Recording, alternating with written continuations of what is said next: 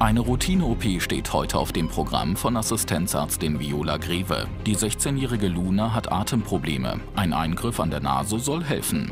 Doch die Schülerin will die Operation unbedingt verhindern. Sie hat für den Abend andere Pläne, von denen ihre Eltern nichts wissen. Hi Luna, na? Hallo. Bist du bereit für den großen Tag? Ja, muss das denn heute sein? Eigentlich schon. Ich meine, wir haben das ja jetzt alles geplant, ne? Und wir haben ja vorher schon in die Nase geguckt. Das äh, wird auch langsam mal Zeit, ne? Bin aber schon viel besser. Meinst du? Ja. Also eigentlich, Besser geworden. ehrlich, also das wäre wirklich für mich das allererste Mal, dass sich das jetzt von äh, durch eine Wunderheilung auf einmal ähm, wieder gelegt hat. Ich gucke natürlich trotzdem noch mal rein, so ist es nicht. Aber Immer ein bisschen nervös, oder? Genau. Es gibt viele Patienten, die gerade so kurz vor einer OP wirklich sehr nervös werden. Das kennen wir und sind auch eigentlich darauf vorbereitet. Das ist in Lunas Fall aber doch ein ganz anderer Grund und nicht wirklich die OP an sich sein sollte, die sie so nervös gemacht hat, stellte sich erst nachher heraus. Und dass sich ihr Zustand so gravierend verschlechtern sollte, konnten wir zu dem Zeitpunkt auch noch nicht ahnen. Die Polypen sind genauso geschwollen, vielleicht sogar ein bisschen mehr, wie bei der Voruntersuchung. Da kommst du um eine OP nicht drum rum. Das müssen wir wirklich äh, Kannst du auch wieder frei atmen nach Genau. OP dann, ne? Und ich meine, wir haben ja die konservativen Sachen schon probiert und das ist halt dann nur mal der, der, der einzige Weg, den man gehen kann. Und das wird halt immer schlimmer. Das wird von selber nicht mehr weggehen. Luna Erkens war bei uns wegen Nasenpolypen. Das nennt man Polyposis nasi. Das sind im Endeffekt Schleimhautwucherungen, die zum Glück gutartig sind, hier oben in der Nase und in den Nasennebenhöhlen. Und das Blöde ist, dass sie halt nach einiger Zeit wirklich zu Atemproblemen führen können. Man schläft schlecht, man fängt an zu schnarchen und bekommt nicht mehr gut Luft, weshalb man sich da unbedingt operieren lassen sollte. Das ist wirklich nichts Schlimmes. Und machen die kann hier ich dann wieder nach tausendmal. Hause nach der OP? Also kann ich heute schon nach Hause? Nee, heute auf gar keinen Fall. Ähm, weil ich meine, du kriegst eine Vollnarkose, ne? Du willst das ja nicht mitbekommen, du möchtest ja schlafen dabei. Und das ist schon relativ anstrengend für den Körper. Und vor allem ist hier oben im Gesicht, hast du bestimmt, wenn du hier schon mal dich geschnitten hast, gekratzt hast oder sonst was, im Gesicht blutet sehr stark. Und das ist eine sehr, sehr gut durchblutete Schleimhaut. Und wenn es da nachher Nachblutungen gibt, dann möchtest du lieber im Krankenhaus sein. Auf jeden Fall. Das ist sehr unwahrscheinlich, aber sicher ist sicher. Ne? Und äh, du wirst auf jeden Fall mindestens zwei Nächte bei uns bleiben müssen. Du bist doch sonst auch nicht so wild auf die Schule. Dann hast du mal ein bisschen Ruhe. Ja, eben. ne? Das ist der Vorteil. Ja, Luna, Dankeschön. wir sehen uns gleich, ne? Ich hol schon mal denn Hemdchen, würde ich sagen. Ne? Dann können wir Jetzt eigentlich gleich. Also du bist ja nüchtern, ne? Du hast nix, nichts mehr gegessen seit heute Morgen. Wirklich nicht. Dann musst du wirklich ehrlich sein, das ist wichtig für die Narkose. Ja, dann geht's jetzt eigentlich äh, gleich direkt los. Ich, ah, guck mal, da kommt schon das schicke OP-Hemd. Das darfst du einmal anziehen. Gibt's leider nicht in rosa. Kannst bestimmt auch mit nach Hause. nehmen. Alles andere aus. Äh, Schmuck, das hatten wir aber vorhin schon alles Genau. besprochen. Ne? Mit dem Schmuck ab und so weiter. Dann wirst du gleich abgeholt und wir sehen uns dann unten, ja? Alles klar, bis gleich. Tschüss. Danke, ciao. Noch weiß Viola Greve nicht, dass Luna einen gefährlichen Plan ausgeheckt hat, um die OP zu stoppen. Im Hinausgehen trifft die Ärztin auf Lunas Bettnachbarin Sandra. Die wurde vor kurzem am Bauch operiert und hat nun heftige Schmerzen. Sie hätten aber auch ehrlich gesagt, Frau Hoppen, nicht aufstehen sollen, ne? Machst das mal hoch, wenn das angenehmer ist. Muss ich sagen. Wenn das so frisch ist, da kann die Naht auch mal ganz schnell wieder aufgehen. Machen Sie mal kurz das Hemd hoch. Oh Gott. So schlimm. Ja. Das sollte eigentlich auf gar keinen Fall so sein. Ich mach einmal, genau, ich mach schon. Gehen Sie da mal besser nicht. Ah, okay. Boah. Nee, also das sieht nicht schön aus. Was haben Sie, lassen Sie mich mal sehen. Was ist das? Was ist das Weiße denn? Haben Sie da was dran geschmiert, Frau Hoppen? Eigentlich nicht, nee. Sie haben da nichts dran gemacht. Weil das sieht mir fast. Also, ne, ich dachte zuerst Pilzinfektion oder so, Ja, aber das ich ist, guck mal, das kannst du, das ist eine Salbe. Creme, ach. Frau Hoppen, Creme haben Sie dran gemacht. Ja, ich wollte, dass das äh, keine Narbe bleibt. Ich wollte da eine Creme drauf machen, wie Mhm. ich mir bei den anderen Sachen, wenn ich mal hinfalle, dass da keine Narbe bleibt. Und ich dachte, dass das dann schneller verheilt und so, aber jetzt ist Haben Sie dabei Handschuhe angehabt oder sich die Hände desinfiziert, als Sie das eingecremt haben? Nee. Haben Sie nicht. Die Creme Und was- haben sie wahrscheinlich auch für andere Körperstellen benutzt fürs Ja, das ist nur eine normale Was, Feuchtigkeitscreme. haben Sie die dabei? Oder Ja, ich denke, ja, darf ich mal sehen? bitte. Okay, also eine ganz normale, äh, nichts aus der Apotheke, einfach eine, die Sie zu Hause hat. Frau Hoppen, ähm, das war nicht die beste Idee. Wunden bergen in gewisser Weise immer ein Infektionsrisiko, weil sie ja so gesehen eine Verbindung direkt zum Blutkreislauf sind und wir dadurch Infektionserreger in unseren Blutkreislauf bringen können. Und das kann im schlimmsten Fall zu einer Sepsis, also zu einer gesamten Entzündung des Körpers führen. Ähm, Dazu muss man sagen, dass entzündete Wunden immer schlechter abheilen und dadurch natürlich auch im Endeffekt schlimmere und stärker ausgeprägte Narben bilden. Deshalb sollte man alles tun, um seine Wunde sauber zu halten und gut zu pflegen. Ich gehe gerne hin und schreibe Ihnen, es gibt da extra Cremes, die sind auch steril, die kriegen Sie angemischt aus der Apotheke.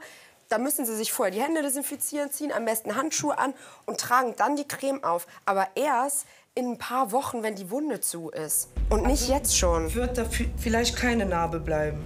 Da wird wahrscheinlich keine Narbe bleiben. Und selbst wenn eine Narbe bleibt, okay. dann können Sie, wenn die Wunde fertig ausgeheilt ist, dann hingehen. Und da gibt es so bestimmte Narbencremes, die massieren Sie dann jeden Tag ein und dann geht die auch wieder zurück. Natürlich möchte niemand gerne Narben an seinem Körper haben. Gerade an Stellen, die man im Sommer im Bikini oder am Strand auch noch öffentlich zeigen möchte. Man muss dazu aber sagen, dass unsere Haut extrem regenerationsfähig ist und mit besonderen Cremes oder Tinkturen man auch bei schon bestehenden Narben eigentlich immer eine Verbesserung erzielen kann. Och, tut mir leid, wie dumm. Nein, gar nicht schlimm. Ich kann das ja auch verstehen. Als, äh, als junger Mensch möchte man keine Narbe haben. Ich schreibe Ihnen das gleich in die Akte rein, dass Sie eine, eine, eine sterile, narbenspezifische Salbe bekommen. Damit cremen Sie sich schön ein, da können Sie auch nichts falsch machen. Und wenn es in ein paar Wochen immer noch nicht gut sein sollte, dann kommen Sie einfach noch mal her. Aber nicht, jetzt erstmal nicht mehr dran gehen, ja, Frau Hocken? Die behalten Sie trotzdem, nehmen Sie die fürs Gesicht. Danke. Ja? Mensch, danke schön. Und Sie sind ja auch noch ein paar Tage ist, hier. Dann sagen Sie einfach Bescheid. Ja. Das Ja. ist alles nicht unmenschlich. Ähm, ne? Genau. Ich glaube, keiner freut sich auf Ja, ich hab, hätte Narbe. daran auch nicht gedacht irgendwie, Ja, dass alles ich mir gut. Handschuhe oder so anziehen muss dafür. Das kann man ja auch nicht wissen, ne? Frau Hoppen, wollen Sie mit uns direkt rüberkommen? Wir müssen eh in Ihr Zimmer und Ihre Bettnachbarin abholen. Dann können Sie direkt mitkommen. Die junge Frau ist erleichtert. Ihre OP-Narbe wird verschwinden und die sexy Bikini-Figur ist nicht in Gefahr. Der aufgeregten Luna steht ihr Eingriff jetzt erst bevor. Doch auf dem Weg in den Operationssaal kommt es zu rätselhaften Komplikationen. Luna, du musst echt keine Angst haben, wirklich nicht. Ja?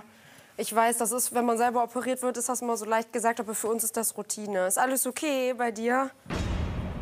Was machst du denn da? Juckt's dich oder was? Ja, es, es juckt. Das hast du vorher aber nicht, ne?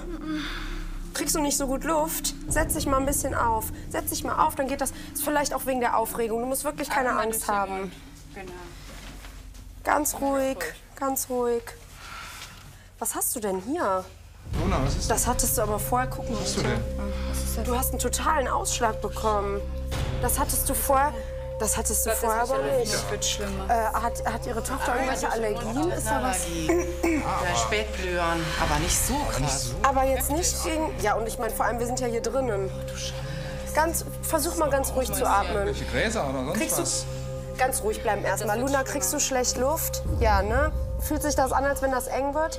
Wir fahren ins Behandlungszimmer. Als die Atemnot bei Luna immer schlimmer wurde, habe ich mich dann dafür entschieden, direkt ins Behandlungszimmer zu gehen und sie mit Sauerstoff zu versorgen, damit sie erstmal wieder besser Luft bekommt. Ich gucke einmal kurz nach den Allergien. Ich das mal so, dass es für dich angenehm ist. Also hier steht auch nur was von Spätblüher. Es ist auch nichts anderes bekannt, ja? Auf keinen Fall. Weil sie hat ja auch keine Prämedikation bekommen, ne?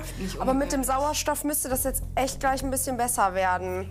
Ist dir schlecht? Ach, oh, oh, oh. Luna, genau. So, spuck einfach genau hier schön reinspucken. Was ist denn jetzt los? Die hat sich doch noch nie übergeben. Dass Luna sich übergeben hat, obwohl sie nüchtern war, kann schon vorkommen. Der Körper produziert immer noch weiter Galle und die kann man dann auch erbrechen. Deshalb war es auch nicht besonders viel Volumen, sondern eigentlich wirklich nur Spucke und Galle, die bei ihr hochkamen. Trotzdem sollte man dieses Symptom gerade vor einer OP sehr ernst nehmen. Sie kriegt jetzt ein Antihistaminikum, Ja. das ist so ein Anti-Allergie-Mittel. Ähm, aber Luna, also die Sache ist, die OP werden wir jetzt erstmal verschieben. So operieren wir nicht. Das ist mir zu heikel. Wir müssen rausfinden, woran das liegt. Weil ich meine, das Einzige, was bekannt ist, ist eine, eine Gräserallergie. Und ähm, da musst du dich jetzt erstmal stabilisieren. So. Schön weiteratmen, ne? So, das kann mal kurz unangenehm sein. So. So, Luna, es müsste gleich auf jeden Fall besser werden. Das weitere Vorgehen für Luna ist jetzt, dass wir zwei Tage abwarten, um dann bei ihr einen Pricktest machen zu können. Das ist ein Allergietest. Und diese zwei Tage müssen wir einfach abwarten, weil sie von uns ja ein Antihistaminikum bekommen hat und das im Moment alle Arten von allergischen Reaktionen im Körper unterdrückt. Dass die Schülerin an der schweren körperlichen Reaktion nicht unschuldig ist, ahnt zunächst niemand. Doch dann wird die Ärztin hellhörig, als eine Stunde später die Symptome zurückkehren und sich Luna sehr seltsam verhält. Ist alles okay? Wird's wieder. Leg dich erstmal ins Bett und dann kannst du dich da ein bisschen ausruhen und zur Ruhe Nein, kommen. ich, ich möchte nicht ins Bett, nein. du möchtest ein nicht ins bisschen Bett? besser. Aber wie, So, denn das dann kannst du dich aber ein bisschen ausruhen. Willst du ja nicht ins Bett? Sonst ein bisschen Sauerstoff hol ich hin. Sonst Amelie, fährst du, ihr beide fahrt einfach noch mal zurück ins Behandlungszimmer. Dann kriegst du noch mal ein bisschen Sauerstoff und ich rede mal kurz mit deinen Eltern, okay? Aber da können wir uns ja wieder. Bis gleich, ich komme dich gleich abholen. Was ist denn jetzt los? Ich finde das gerade ein bisschen komisch, dass sie sich so gegen das Bett wehrt. Also das war auf jeden Fall ein, ähm, ein anaphylaktischer Schock. Das ist wirklich ein bisschen seltsam. Als wir Luna dann wieder zurück in ihr Zimmer bringen wollten und es ihr, je näher wir dem Bett kamen, immer schlechter ging, habe ich sie erstmal direkt wieder zurück in das Behandlungszimmer geschickt, weil mir zu dem Zeitpunkt so langsam ein Licht aufging. Und nachdem ich dann das Bett untersucht habe, habe ich dann unterm Kopfkissen wirklich eine ganze Tüte voll mit Gräsern und unterschiedlichen Blumen von irgendeiner Wiese gefunden, die mit Sicherheit nicht zufällig dorthin gekommen waren. Luna? Magst du mir was dazu sagen? Weißt du, was das ist und wo das war? Ich weiß nicht, wo das herkommt.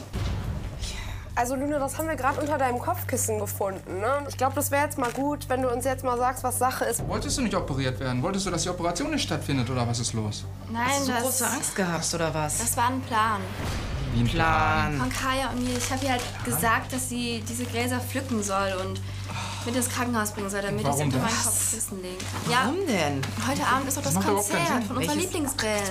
Was bitte? Wegen so Welches einem Konzert? blöden Hampelmann-Konzert? Das ist kein nee. blödes Hampelmann-Konzert. Das kann doch nicht wahr sein. Wegen dem Konzert Deswegen hast du die riskierst du halbe deine Wiese Gesundheit? Und das Bett und das Kopfkissen liegen liegen lassen. Weißt du, was da hätte passieren können?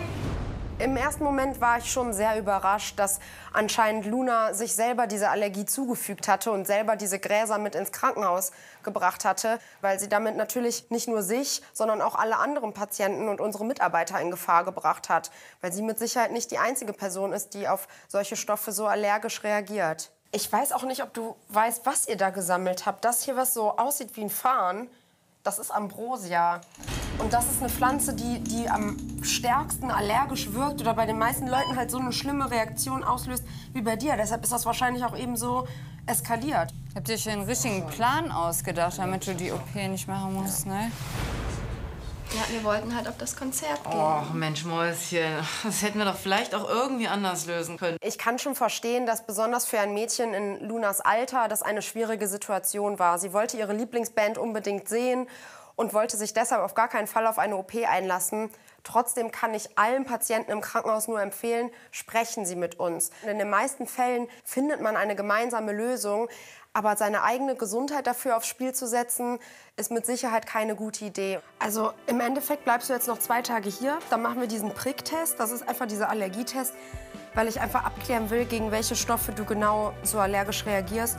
Und dann gucken wir, ob wir in ein paar Tagen die OP machen können. Weil solange kein Gras mehr in deinem Bett liegt, können wir auf jeden Fall in den nächsten Tagen operieren. Ja, Luna? Noch in derselben Woche wurde Luna erfolgreich operiert. Bei ihren Eltern hat sich die 16-Jährige entschuldigt und ihre Lieblingsband hat schon eine neue Tournee angekündigt. Gemeinsam mit ihrer besten Freundin Kaya will Luna dann auf jeden Fall dabei sein.